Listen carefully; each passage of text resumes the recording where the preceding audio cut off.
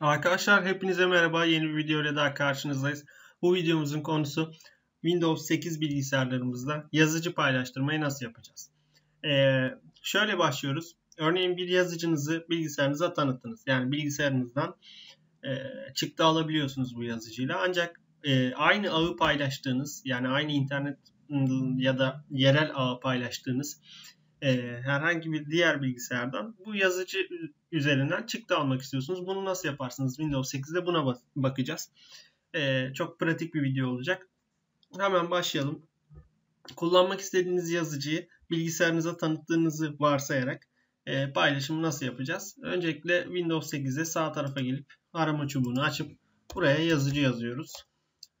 Aygıtlar ve yazıcılar simgesi çıktıktan sonra tıklıyoruz. Burada görmüş olduğunuz gibi benim e, Canon LBP işte 6020 şu anda bilgisayarıma tanımlanmış yazıcım. E, siz de tanıttığınız bilgisayardaki yazıcının üzerine geliyorsunuz ve sağ tuş yaparak yazıcı özellikleri diyorsunuz. Açılan pencerede hemen bir sağdaki sekmede paylaşım çubuğu var. E, bu çubuğa geldikten sonra şurada görmüş olduğunuz bu yazıcıyı paylaştır seçeneğini tıklıyorsunuz.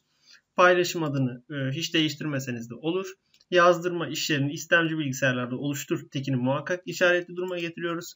Ayrıca diğer bilgisayarın e, işletim sisteminin 32 ya da 64 bit gibi farklılıklar arız etmesi durumunda buradan ek sürücüler diyerek yükleme de yapabiliyoruz. Daha sonra uygula dediğimizde artık bizim yazıcımız paylaşılmış bir yazıcı haline geliyor. Peki diğer bilgisayarda e, bu yazıcıyı nasıl göreceğiz? Çok kolay.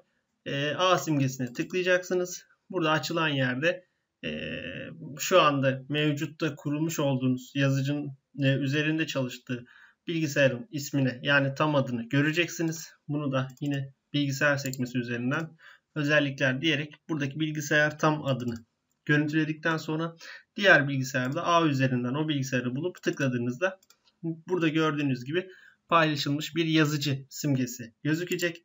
Sağ tuş deyip bağlan dedikten sonra e, kolaylıkla e, bu bilgisayarda diğer yazıcıya bağlamış oluyorsunuz ve istediğiniz her türlü çıktıyı almış oluyorsunuz arkadaşlar. Anlatmak istediklerim bu kadar. Sormak istediğiniz herhangi bir şey olursa videonun altındaki yorum bölümünden bize ulaşabilirsiniz. Ayrıca yeni videolar için kanalımıza abone olmayı unutmayın. Hepinize teşekkür ederim. Sağ olun.